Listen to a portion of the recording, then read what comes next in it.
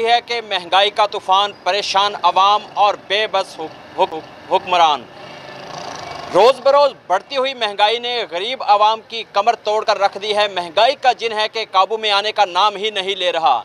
सब्ज़ियाँ हो, गोश्त हो, घी हो, चावल हो, दालें हो, आटा हो, या हो, अशियाए खुरदोनोश। खाने पीने की चीज़ें तो ज़मीन पर हैं, लेकिन उनके रेट आसमानों से बातें कर रहे हैं।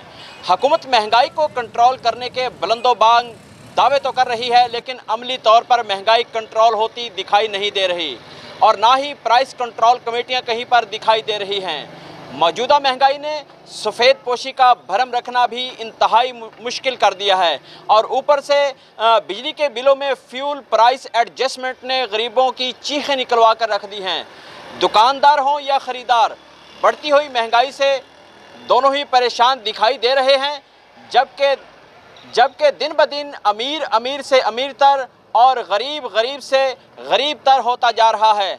शहरीों ने हकूमत वक्त से महँगाई को फौरी तौर पर कंट्रोल करने का मुतालबा किया है ताकि शहरीों की परेशानियों में कमी वाक़ हो सके।